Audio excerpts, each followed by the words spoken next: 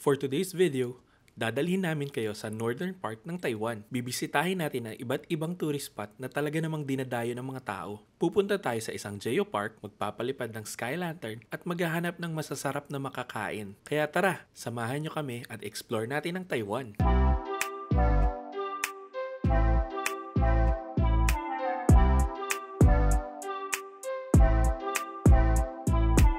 Good morning! Tayo ay pupunta sa may Jufen, Jufen. Yan. Tour lang to actually. And we booked this tour on Klook. Kung gusto nyo ring mabook tong mga tour na ganito, try finding kung anong gusto nyo sa Klook. Mas makakamura kayo. Also, use my promo code MAULAN para may dasdag discount pa kayo, di ba? So, andito kami ngayon sa Z8 para bumaba. Papunta doon sa stasyon. Ang oras ngayon, 7.16 kasi magkikita-kita daw kami sa Siemens Station ng 8. Kaya, ang aga namin. Andito na tayo ngayon sa ilalim sa ano tawag dito? Basta yung parang underground underground na mga stores. Kaso mga sarado pa eh. Ayan oh. Sarado pa yung mga stores. Hindi ko alam anong oras kaya magbubukas mga. Siguro mga 8 or 9. Ayan, magwi-withdraw muna tayo bago tayo pumunta dun sa meetup place. Diba? Nagwi-withdraw siya. May hawak-hawak na cellphone para sa Google Translate. Mahusay. Napakahusay mo. Yay! Naka-withdraw na siya. Tagal namin bago na figure out. Ang tagal namin fini-figure out kung paano mag-withdraw. Gumagamit kami ng Google Translate gamit yung phone. Tapos dun sa dulo kasi, tatanungin ka niya kung i-defer mo yung conversion or immediate conversion. Ginagawa naman namin pareho, pero yung isang bank, yung isang bank na ginagamit namin, ayaw. Ayaw niyang, ayaw niyang mag-defer, ayaw niya mag-immediate convert. Ano bang bank yun? Metrobank. Yes, Metrobank. Naka-withdraw kami using BDO card. Kasi si BDO is a universal bank. Yes, it's a universal bank. Oo, kaya mas madaling maka-withdraw sa kanya. Kahit kahit yung kahit si Metrobank is meron din ng mga kailangan na Visa, Mastercard na logo. Hindi kayo basta-basta makaka-withdraw unless sabihin nyo muna sa bank nyo, you're going to a different country, tell your bank first para maka-withdraw kayo outside. Pero kay BDO, hindi na kailangan since universal bank sila. Mas na-realize ko na mas mababa nga yung conversion. Oo. Pag mag-withdraw ka via ATM, 1.9 yung conversion rate. Dito, 1.84. Uh, 1.8. 1.84 something. Mas malaki yung makukuha. Oo. Hindi ko lang alam kung magkano yung transaction fee. Pero nung nagpag-convert kami sa airport, may transaction fee din na silang chinarge sa amin, which is 30 NTD or 60 pesos. Ito, chinarge ako. Ito, nakita ko na. Ang charge sa akin ng BDO is 200.63 pesos. so parang ganun din. 2 pesos din pala. Parang halos 2 pesos din. So, kayo, Hindi, charge yun eh. Hindi Charge. naman yun yung ano eh. Conversion. Hindi yun yung conversion. Okay. Charge yun nung ano, bank, bank charge yun. Kahit sa atin, kahit sa atin, di ba, nakalagay pag nag-withdraw ka, if if international bank ang gagamitin mong pang withdraw, may 200 charge. Oo. So, ganun lang din yan. Pero at least yung 200 charge na yan, ang laki na ng mga withdraw mo. Isa to sa struggle ng traveling. Yung money exchange. Dito sa Taiwan, um, wala basta-bastang money exchange. So if I were you, magpapalit na kayo sa airport or withdraw sa ATM. Kasi medyo ano pala sila sa money laundering. Iniingatan nila yon Kaya unlike sa other countries na napuntahan namin, everywhere may money exchange. Dito, halos wala. Kaya yun, yun yung isang naging struggle namin dito. Pero okay na, nakawithdraw na kami. Alis na kami. Bye. Bumili muna ako sa 7-Eleven. Kabila ko ng ano, sausage and cheese burrito. Saan yung akyatan? Ah, ito. Akyat na kami dun sa, ano, exit 5 daw. Ayan. Yung exit 5 para kikitain yung mga kasama natin sa tour natin. Hi. Thank you for your patience. Yes. Ay, sorry. It's okay. Yeah. hold it. Wait. Cindy? Yeah, those two. This is Cindy? Yeah, she's Cindy. Yeah, happy birthday. and then, Okay. yeah, you can wear this one on the body or on the back, okay, as long as we can see it. Okay. Uh, welcome on board the bus is first come first serve. Alright. Yeah, Okay. go ahead. Okay. Good. Thank you. Today, okay, just welcome to join our day trip. Uh, and we are going to visit four attractions. Do you know where we're going today? First stop, Yelyu Geopark. Ang Yelyu Geopark ay isa sa mga pinaka-binibisita na tourist destination sa Taiwan. Matatagpuan dito ang iba't ibang rock formation at isa na dito ay ang sikat na Queen's Head dahil sa hugis nito na parang mukha ng isang babae na mayroong corona. Unfortunately, ang lugar na to ay subject to sea erosion kaya dadating ang panahon na hindi na ito makikita muli. Right, so listen, now please just separate into the two lines. The left corner will be the QR code, and then the right corner will be the cash. If you pay the cash to me, please keep it the right side here. dito ka. Cash.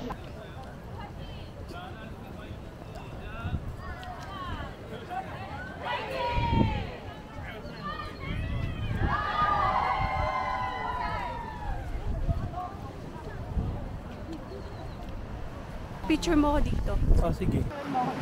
No crossing ah. Oo, picture lang. Diba? Kamusta naman? Kakapasok pa lang namin dito. Nakiwalay na kami agad dun sa group. Hindi na namin alam kung saan sila pumunta. Kasi, as usual, si Cinderella, picture ng picture, naiwan na kami ng group. So, hindi natin alam kung asan. Alam ko talaga nandun sila sa kabila. Dumiretso sila. Oo, iba yung andyan. Ayun si ate, oh ka-red jacket na may flag. Kailangan mo talaga imagination mo eh. Kung hindi ka imaginative, they're all just rocks. Ayun yung Queen's Head. Punta tayo dun. Ano kaya to? Ah, ito pala, Speed Trial Station. This slave station was built by CSBC Taiwan in 1972 for ship speed measurement with the radio wave before DGPS was adopted. Ay, wow. Galing. Queen's Head this way. Pila para magpa-picture dun sa Queen's Head na andun. Pa-picture tayo dun mamaya. Liit lang pala niya, oh. Kala ko sobrang laki. So, ano lang pala siya. Maliit lang pala siya na rock formation. Kala ko naman yung mga ganitong, mas malaki pa dito. Pero hindi, ganun lang pala siya. So, ayun. It's nice. Look at me, like one, two. Yun na, tapos na kami. Nakapagpa-picture kami dun sa ano. Dun sa, anong tawag dun? Queen's Head. Pinicturean kami ni ate, ni ating tour guide dun sa may Queen's Head. Ang ganda. Ang saya dito, ang lamig din, sobra. Wait lang, tingnan natin. Ilang degrees dito? It's currently 14 degrees. Ganun kalamig dito. Tapos, bumili, bumili ako ng raincoat. Hindi ko naman gagamitin. As you can see, di ba madilim? Wag lang sanang umulan, pero grabe yung dilim mo. Pero since hindi umuulan, ang ganda, no? Yung ano lang, ganito lang, hindi umuulan.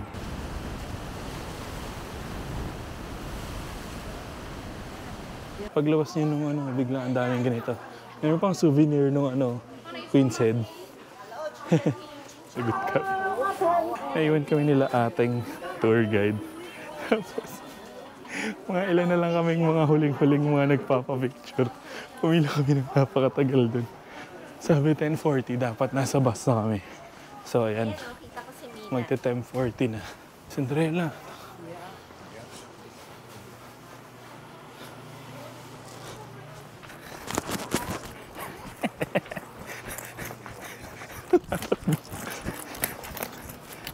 Bakit ka tumatakbo? Ayan o, si Ariano. Ha? Napagod ako. Magsi-CR din ako.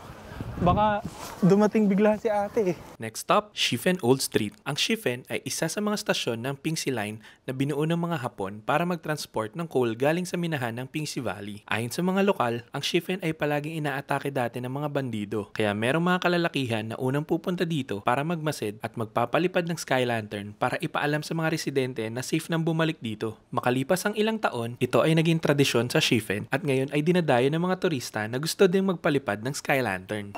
Okay. We are now here sa may Shifen.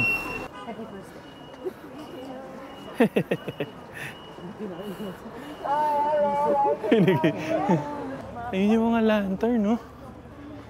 Wow. Pingxi Lantern Square. Grabe, 14 degrees pa rin. Almost 12 na, pero 14 degrees pa rin. Nandito na kami ngayon sa may, ano sa may Shifen. Mag-aano tayo ng mga lanterns, ganun. Dito. Dapat daw dito, wag daw hapon. Kasi pag hapon, sobrang dami na daw tao. Yung tour natin, dito tayo dinala. Zilly Lantern. Ito may mga souvenirs dito. 80 per piece. 5 plus 1, 400. Ay, umiilaw. Ang cute niyan. Umiilaw pag naalog.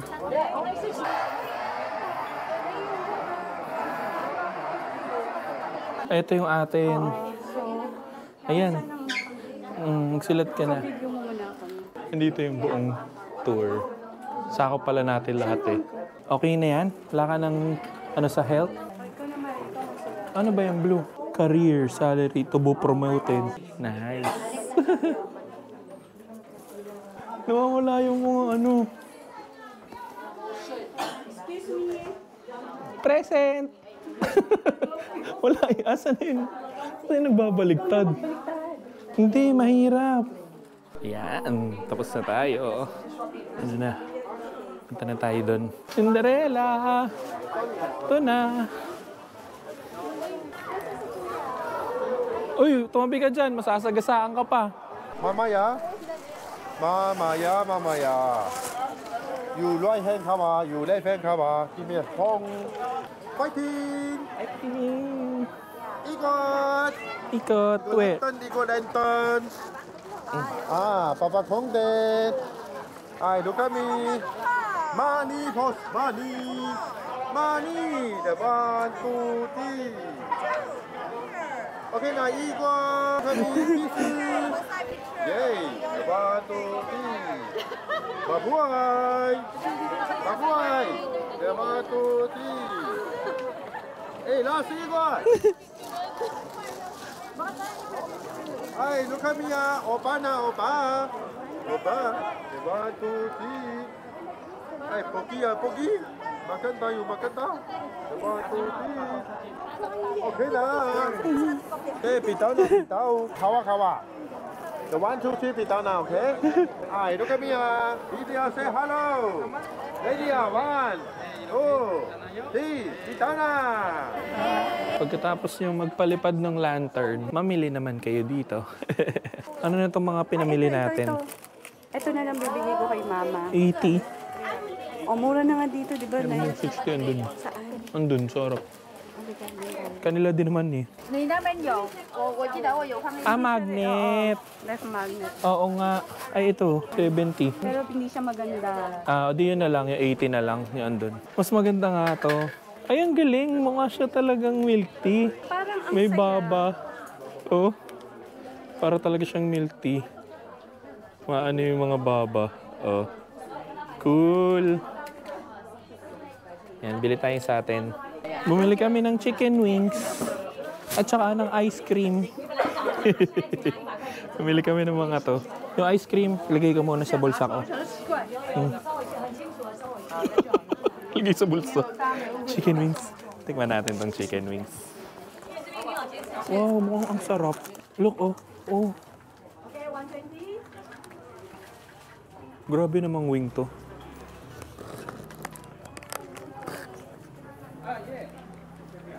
Mm. Parang sticky rice yung nasa loob. Parang? Sticky rice na parang, mm. ewan. Parang sarap. Mm. Mm. Peanut ice cream. Mas maraming peanut. Mm. Iba yung ice cream nung kagabi. Ngayon, mas masarap yung ice cream. Mm. Mas masarap ang ice cream.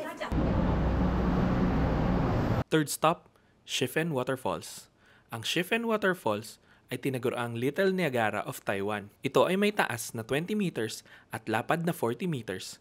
Kaya naman ito ang pinakamalawak na waterfall sa buong Taiwan. Okay, so ito na yung pangatlong location natin. Hindi namin alam kung saan kami pupunta.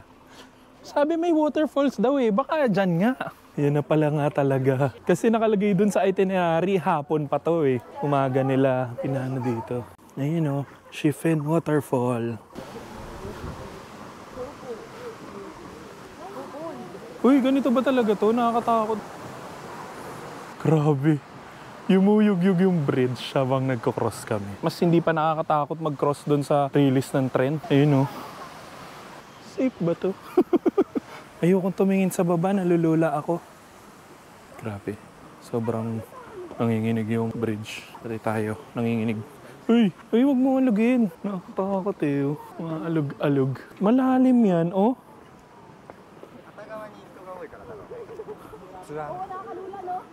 Uy, ba't ganyan mag-sway yung bridge?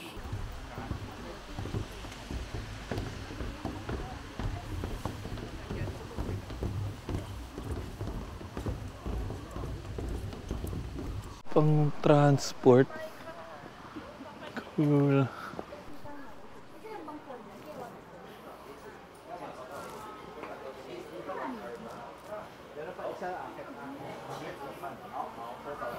Ay, wow. Cinderella. Ang bango. Nauna na si ate. Oo, kasi para daw late tayo lahat. Uy, Koy. It's so big. Uy, lalaki ng mga koy. Grabe oh. Ay. Ganun ulit dito. Mga ano ulit, mga shop-shop. Must have Taiwanese snacks. Mga must have Taiwanese snacks daw. Jerky. Beef jerky. Try mo, bili ka mamaya pagpakit na tayo. Ito, panot siya.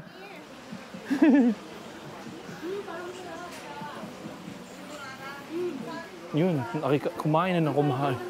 Nung panot siya. Oo, bili tayo ng jerky.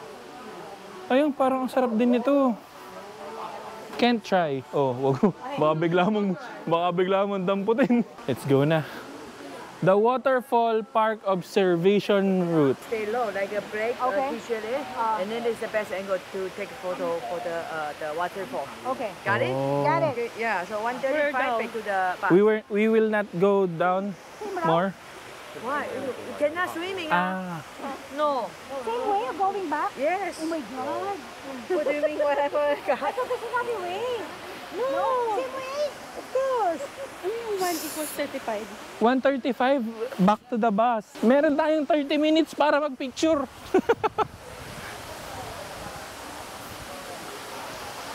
Doon tayo. Sa kung asan sila. ah. Sunod tayo doon.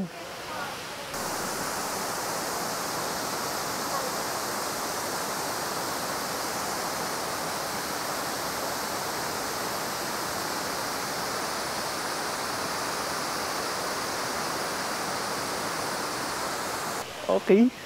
Halika. Halika na, aakyat na ulit kami dahil 1.35 daw, eh dapat nasa bus na. so, parang 30 minutes na yung binigay sa atin dito. Kaya ayun, aakyat na ulit kami. Tapos, kailangan nating unahan sila ate para hindi tayo mapagalitan.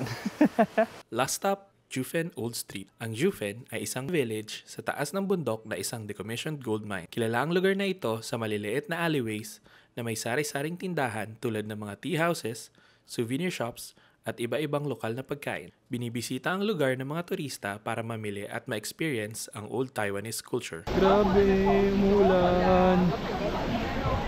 Si, wait lang, Cinderella. Ito sila ate, tanong natin. Ano oras daw po ulit?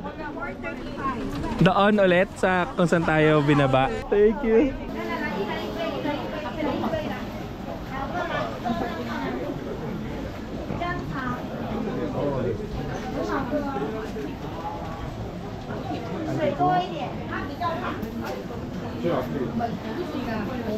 Mm, bango. Bango. Dito ata yun. Yung mabango. 40.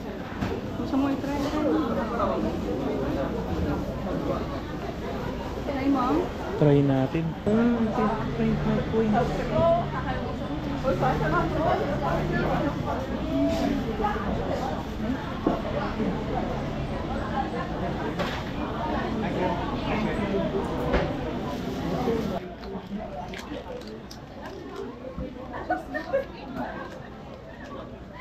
mm. Đó. Mà sao không mình cặp đi? Ừ, lạnh. Ano lang siya? Nougat cracker. Parang sarap yun.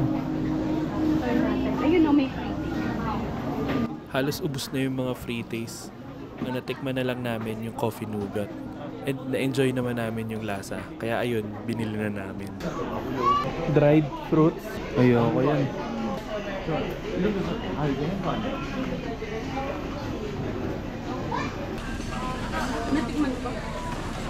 Hindi. Tikman mo.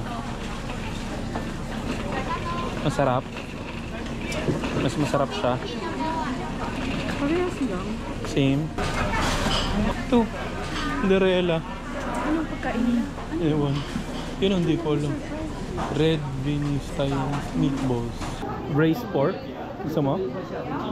Okay naman. Ha? Try natin.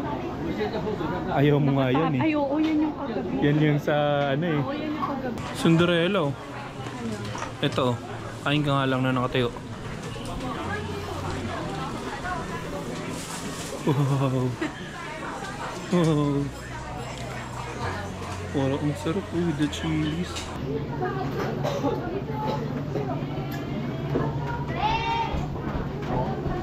여기가 사거리인가 보다. May space ba? May space.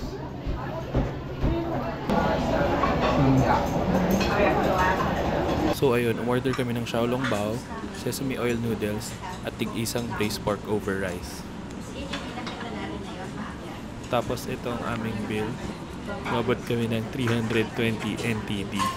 Kain muna kami dito. Sa gutom namin, nakalimutan na namin mag-film. Pero after kumain, pumunta naman kami dito sa sinasabing number one milk tea ng Taiwan, ang Xing Fu Tang.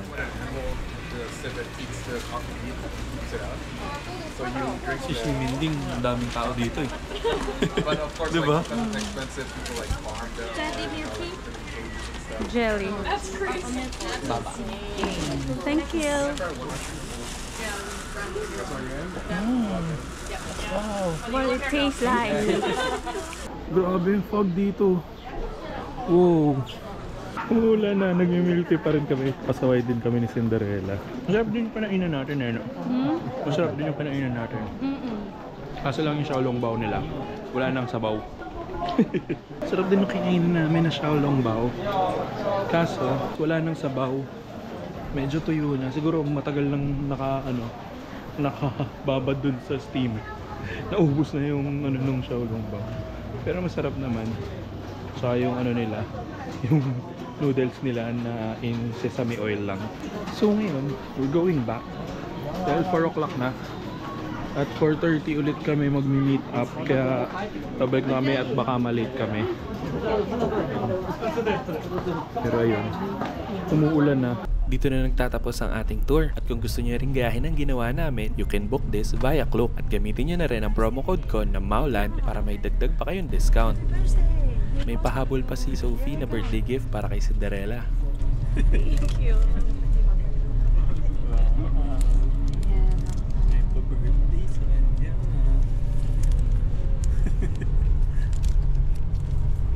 It's a postcard and ang pao.